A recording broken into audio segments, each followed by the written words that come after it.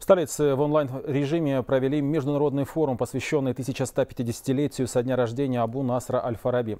Ученые из 30 стран мира, политики и дипломаты подвели итоги юбилейного года. Государственный секретарь Республики Казахстан Крымбек Кушербаев выразил благодарность международным организациям и иностранным партнерам за поддержку. Он подчеркнул, что, несмотря на пандемию, удалось реализовать масштабные проекты. В свет вышли новые книги, сняты документальные фильмы.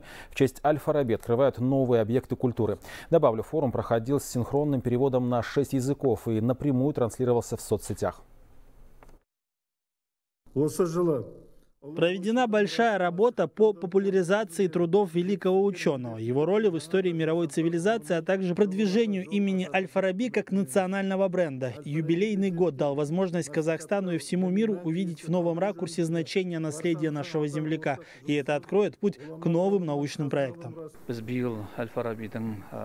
Планировалось, что сегодняшнее мероприятие будет проводиться в штаб-квартире ЮНЕСКО в Париже. Однако из-за пандемии выбрали режим онлайн. В целом год был насыщенным. Одно из главных достижений – перевод трудов Аль-Фараби на русский и казахский языки. По этому поводу будет отдельная презентация.